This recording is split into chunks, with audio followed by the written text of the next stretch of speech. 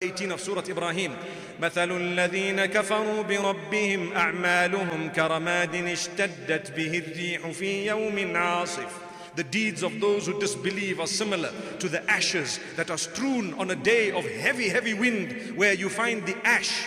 You know, ash is something, the result of something that was burnt totally.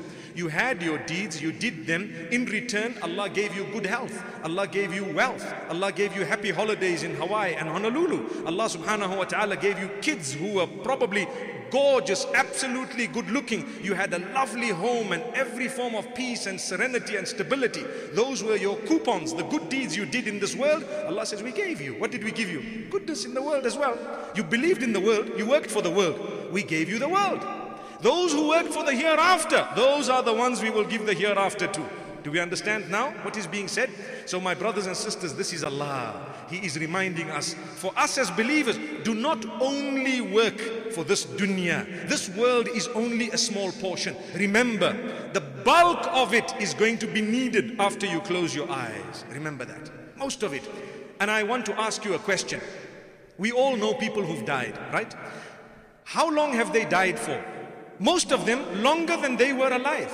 Someone was alive for 70 years. They are now dead. For the last 200 years, they've been dead. So what this means, common logic, we will be alive only for a short period of time. The rest of it will actually be while we're dead. May Allah subhanahu wa ta'ala grant us a deep understanding. Still, man becomes deceived by the devil. This is why Allah says in verse number 22 of the same surah, the devil will come to you and make a promise, yet he owns nothing. And Allah has made a promise and Allah owns everything. And on the day of judgment, the two of you are going to meet. Who? The devil is going to come, you're going to have an opportunity to talk to him.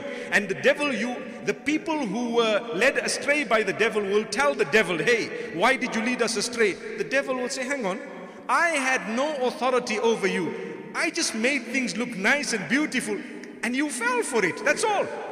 وقال الشيطان لما قضي الأمر Shaitan will say when everything is over, when the affair has been decided, you know what Shaitan will say? إن الله وعدكم وعد الحق ووعدتكم فأخلفتكم Allah promised you a good promise. Allah made a promise to you. I made a promise, but I was actually cheating you. That's what he says. You fell for it. Subhanallah. And then he says, وَمَا كَانَ لِيَ عَلَيْكُمْ مِنْ سُلْطَانٍ إِلَّا إِلَّا أَنْ دَعَوْتُكُمْ فَاسْتَجَبْتُمْ لِي I had no authority over you except that I called you and you immediately responded without even a big effort from my from on my side. You know when shaitan wants you to commit sin for some strange reason, a person will spend hundreds of thousands of rands on the bottle, on drugs, gambling, adultery, girlfriend, everything else. He'll spend hundreds of thousands, but he will argue about the amount to be given as sadaqatul fitr on the day of Eid, whether it's 22 rands or 50 rands. That's the debate. Allahu Akbar. He will argue. And it becomes such a big figure. But five minutes before that, he was on the phone with his girlfriend. And he said, don't worry, I'll transfer to you. How much do you want? She says, well, 10 grand will be okay. I'll give you 20, it's fine. May Allah forgive us.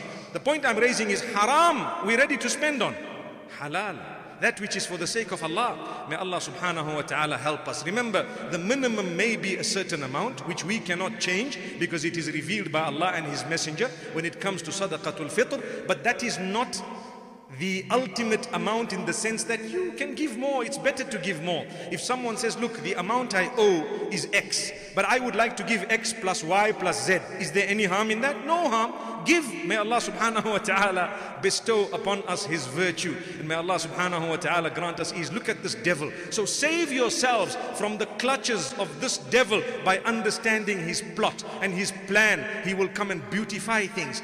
Go back to Allah.